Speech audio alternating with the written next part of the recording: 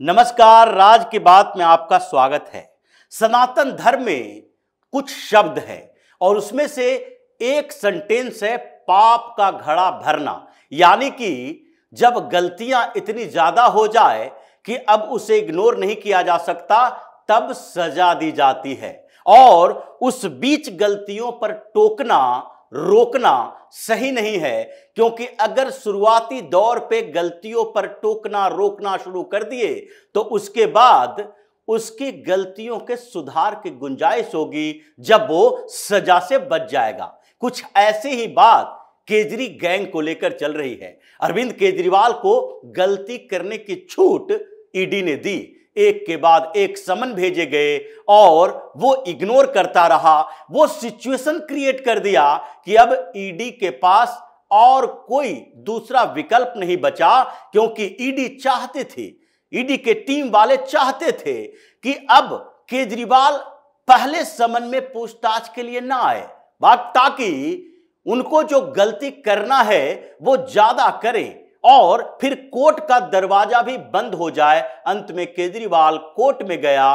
Court में जाने के बाद वो खुद ही ऐसे फंस गया कि जब कोर्ट से फैसला आया कि कोई भी समन को इलीगल नहीं कहा जा सकता। आपको कॉपरेट करना पड़ेगा और आप कॉपरेट नहीं कर रहे हैं मतलब ईडी को हरी झंडी मिली, अब जाइए और अरविंद केजरीवाल को उसी तरीके से गिरफ़्तार करके लाइए, जैसे दूसरे नेताओं के घर पर जाकर छापेमारी, पूछताछ और उसके बाद हिरासत में लिया जाता है। कुछ यही स्थिति संजय सिंह को लेकर है और फिर से संजय सिंह की गिरफ्तारी होने वाली है। क्यों? क्योंकि संजय सिंह ने जो एफिडेविट दायर किया था जमानत के लिए, और सुप्रीम कोर्ट ने जब जमानत दी थी तो सुप्रीम कोर्ट के तरफ़ से एक ही शर्त रखी गई थी। और वो शर्त थी कि आप शराब घोटाले से जुड़ी हुई बातें बाहर में मीडिया के सामने नहीं करेंगे, और संजय सिंह के वकील ने यही बात हलफनामे में एफिडेविट में लिखित रूप से दी थी कि हम बाहर जाएँगे तो वहाँ पर जाकर शराब घोटाले से जुड़ी हुई वो बातें नहीं करेंगे जिससे इन्वेस्टिगेशन प्रभावित हो। और बाकी जो शर्तें थी, वो तो लोअर कोर्ट को तय करना था, क्योंकि इन्वेस्टिगेशन से जुड़ी हुई सारी बातें उनको पता थी। और इसलिए सुप्रीम कोर्ट ने केवल एक शर्त रख के लोअर कोर्ट के हवाले कर दिया, जहाँ पर चर्चाएँ चली, बहस चली, और संजय सिंह के वकील ने कहा कि पॉलिटिकल एक्टिविटी पर रोक नहीं लगाना चाहिए, क्योंकि संजय सिंह आम आदमी पार्टी के एक बड़े नेता हैं, स्टार प्रचारक हैं और लोकसभा चुनाव है। तो इसलिए लोअर कोर्ट ने उसमें भी कुछ शर्तें लगा दी और कहा कि आप चुनाव प्रचार के लिए जाएँ लेकिन मोबाइल का लोकेशन हमेशा ऑन रहना चाहिए। आप ईडी के अधिकारियों को यह बता कर जाएँ कि हम यहाँ पर प्रेस कॉन्फ्रेंस करने जा रहे हैं, यहाँ पर रैली करने जा रहे हैं, यहाँ चुनाव प्रचार करने जा रहे हैं, ताकि ईडी के अधिकारी अवेयर रहें और आपके ऊपर नज़र बनी रहे कि आप वहाँ पर क्या क्या बोलते हैं। इसी तरीके से दूसरे जो पासपोर्ट जब्त करने से लेकर जब इस पर बात चली कि आप एनसीआर छोड़कर बाहर नहीं जा सकते। पासपोर्ट जब्त करने का तो मतलब था कि देश से बाहर नहीं जा सकते। तो फ़्लाइट रिस्क के मामले में इनके वकील ने फिर हलफनामा दिया कि ये देश छोड़कर बाहर नहीं जाएँगे। ये भागने वाले लोग में से नहीं हैं और राज्यसभा के सांसद हैं तो इनके ऊपर इतना भरोसा किया जाना चाहिए। पॉलिटिकल बाध्यताएँ हैं अलग अलग जगहों पर। ये जाकर प्रचार करना है इनको। तो दिल्ली एनसीआर में सीमित नहीं किया जा सकता। पंजाब में भी आम आदमी पार्टी की सरकार है, वहाँ भी पार्टी का संगठन है, वहाँ भी ये प्रचार करने के लिए जाएँगे। गुजरात में आम आदमी पार्टी का कैंडिडेट है, वहाँ भी प्रचार करने के लिए जाएँगे, असम में भी जाएँगे। इसलिए कम से कम इस बात का ख्याल रखा जाए। लेकिन फिर भी कोर्ट ने उस पर शर्त रख दी कि आप अपना मोबाइल लोकेशन ऑन रखेंगे, ईडी के अधिकारी से संपर्क में रहेंगे और वहाँ पर जो आप बोलेंगे, उससे इन्वेस्टिगेशन प्रभावित नहीं होना चाहिए। लेकिन संजय सिंह जेल से बाहर आया और बाहर आने के बाद पहली बार उसने मीडिया के सामने जो बातें कही, उसमें सीधे शराब घोटाले के ऊपर आ गया। ये उसकी पहली गलती थी, जिसके लिए ईडी ने नंबर वन नोट कर लिया कि पहली गलती तो संजय सिंह ने कर दी। और ऐसा भी नहीं है कि पहली गलती पर टोका टोकी कर दे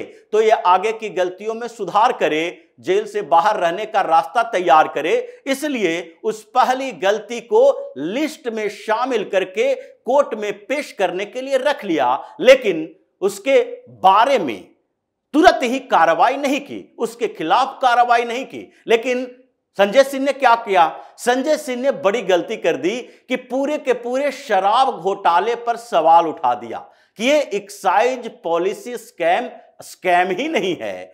ये कोई घोटाला नहीं है। इसमें तो भारतीय जनता पार्टी के शीर्ष नेतृत्व शामिल हैं। उसने सवाल उठा दिया, अरविंद केजरीवाल निर्दोष हैं। ये तो कोर्ट की अब मानना है।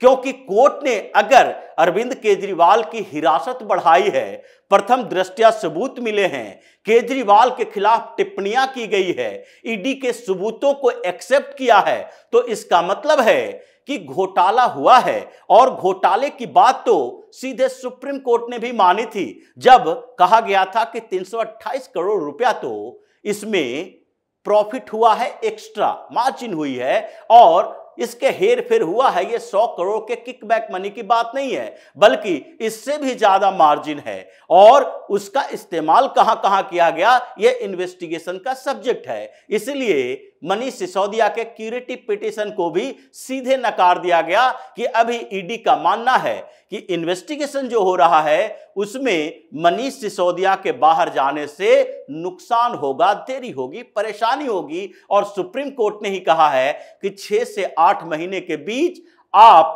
ट्रायल शुरू करें, सारे इन्वेस्टिगेशन को पूरा करें, ताकि ये जो पॉलिटिशियन हैं ये सिर्फ़ आरोपी ना बने रहे। या तो सजा मिले, या दोष मुक्ति हो जाए और बरी हो जाए। ये बात ईडी ने कही। मतलब सुप्रीम कोर्ट तक ने माना है कि शराब घोटाला तो हुआ। दिल्ली में एक्साइज पॉलिसी में परेशानियाँ बढ़ी। सुप्रीम कोर्ट ने आम आदमी पार्टी को भी सीधे कटघरे में खड़ा किया था और सुप्रीम कोर्ट से लोअर कोर्ट तक। हर जगह जो टिप्पणियाँ हुई चाहे दिल्ली हाई कोर्ट में हो, हाई कोर्ट के जज ने भी यह बताया और बोला कि जिस तरीके से मार्जिन मनी बढ़ाई गई, सौथ लॉबी की बात है, जो सरकारी गवाह बनने वाले लोगों ने कहा है, इसका मतलब कि घोटाला तो हुआ है। और जो इधर संजय सिंह बोल रहा है कि शराब घोटाला तो कोई घोटाला ही नहीं है। यहाँ तो घोटाला हुआ ही नहीं है। अरविंद केजरीवाल दोषी नहीं है। अरविंद केजरीवाल तो झूठे आरोप में फंसाए गए हैं, जबकि यह भी एक कोर्ट के मानना है और साथ ही न्यायपालिका की अवमानना के साथ साथ जजों के साथ धोखेबाजी है, जिसके सामने आपने हलफनामा दायर किया और कहा कि शराब घोटाले से जुड़ी हुई बातें हम नहीं करेंगे।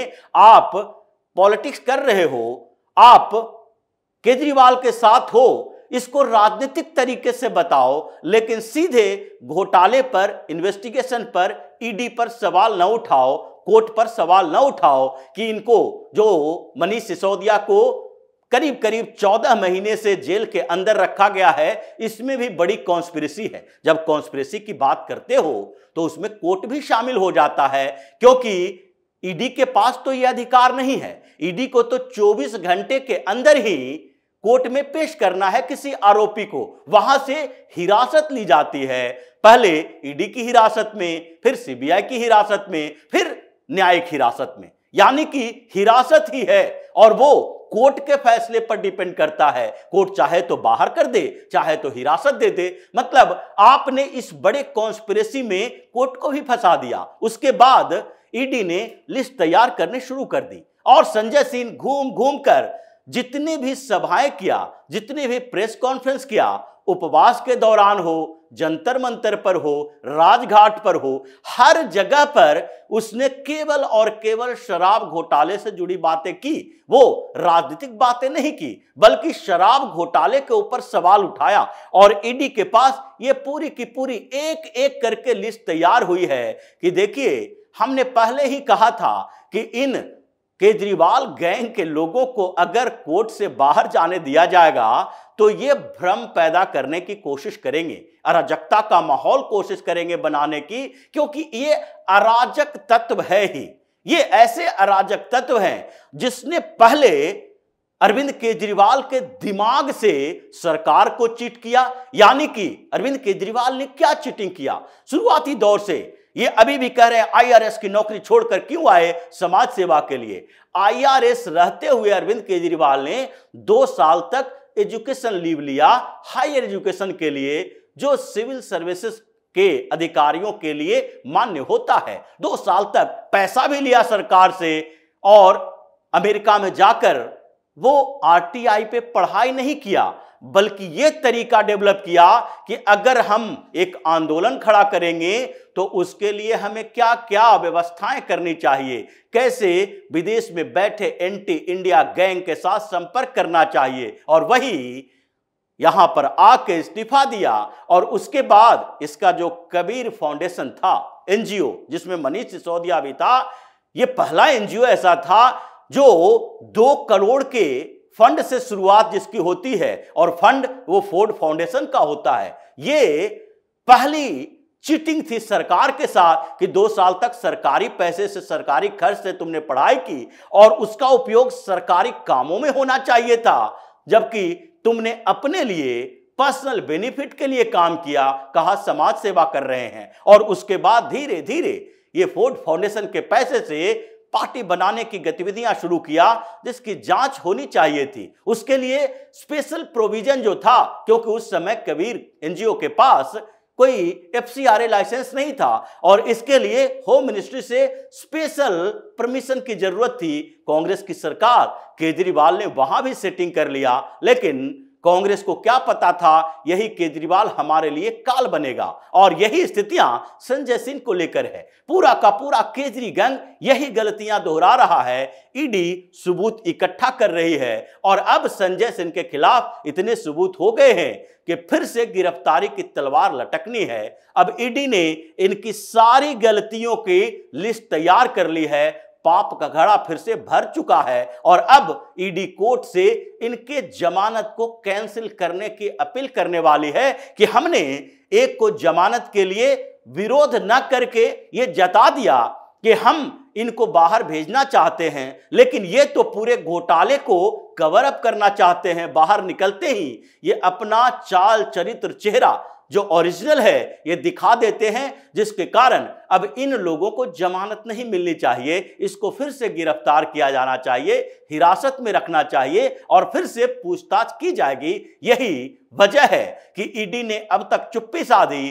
पूरी लिस्ट तैयार की, अब कोर्ट में जाने वाली है, ताकि संजय सिंह को फिर से गिरफ़्तार किया जा सके।